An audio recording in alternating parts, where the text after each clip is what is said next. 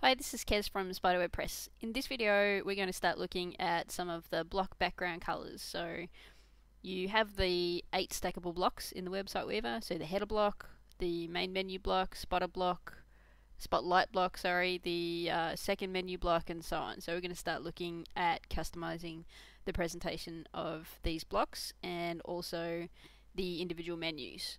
So jumping over to the website weaver, the first thing that I'm actually going to do is set the blocks to have a full width background. So easiest way is just to show you what I'm talking about. So expanding the site background and general options settings. You can open up the background settings and I'm going to change this block background setting here to full width. I'll save that and update and I'll show you the change that it makes. So you can see there the background of each block expands to the full width of the window area.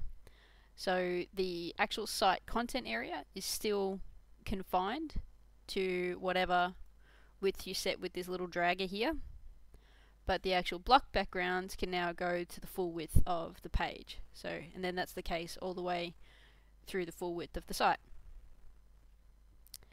So the next thing that I'm going to do is start to uh, change the background colors of this menu and the spotlight and this second menu and then these other blocks down here. So what I'm going to aim to do is have these two menus and the spotlight block form a kind of a, a solid area of color and then have everything under that be white background. So the first thing I want to do is make this uh, main menu here match the color of the site title. So instead of going to the trouble of sampling those colors again, I'm just going to come in here and just copy that code out of the site title settings and then add it in to the main menu background setting. And I also want the second menu to have that same background color.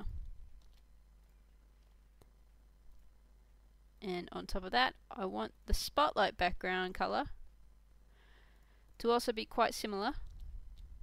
They're not the same. So what I'm going to do is first set the uh, the same color in there. Now you'll see here is the old color that you had in. So that's the color we just pasted in. And now when we change the color you get a comparison. So that's a good way to make slight adjustments to uh, colors so that's done. So now you can see we've got this blue block that I was describing. So I'm going to update that. And let's have a look at it Okay, cool. Coming together very nicely. And now the next thing that I want to do, I don't want this this area or this area to to look like separate parts. I want this all to be white. So I'll go into the featured strip background and set that to be white. And then I'll do the same thing in the content area background.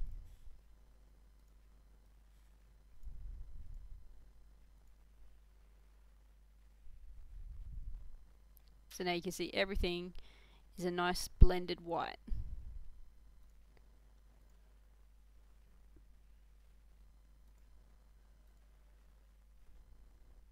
So this all becomes a single combined panel. And now I want to go with something a little less plain for the, the font choice in here. So I'm going to expand the main menu bar background font and color settings because we want to look at the font settings. And we're going to click the choose font button.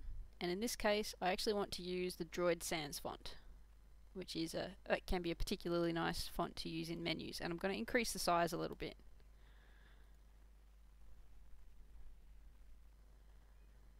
So that just gives you a, a, nice pleasant look for your, your menu items. And because the font is a little bit bigger now, I'm also going to increase the size of the menu.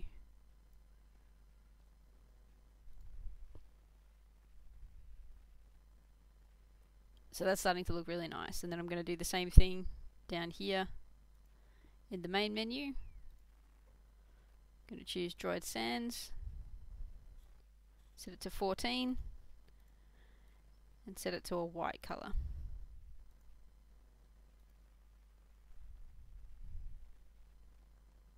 So now we'll just update that so we can see how it looks in the front end. Starting to come together really nicely. And then the next thing that we want to do is to control these hover colors. Now I've got some dummy content that I've just added in using a plugin called WP Dummy Content. It's brilliant. It just uh, makes it really easy to add some placeholder content that you can work with. It's just a few pages out of Tom Sawyer and Huckleberry Finn. So in order to start playing properly with the, the full drop down menu, I'm going to go in and set up the actual menu system. So all website weaver themes work with the WordPress custom menu system. So I'm going to create a new menu.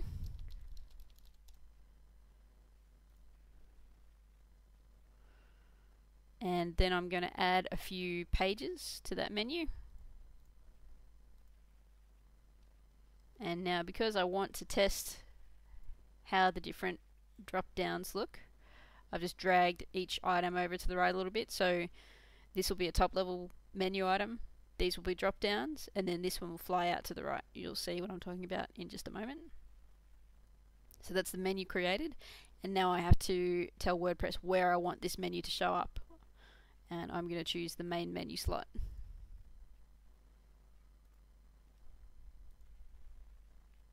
And now you can see you have the the drop downs and the flyouts. And now we want to adjust the colors for those. So the easiest way to do this is again to copy your original background color for the top level menu items and then paste that into the second menu, into the drop down background and color settings area. Now because we want this to be just a slightly different shade, that's the color you just put in. This is the color you're changing to. So now I can get a comparison. Click done. Then I'm going to do the same thing again in the next level. Enter that color and now just make a slight adjustment. Now hit save and now you can see the different colors that you've just entered in. So I'm going to update the theme.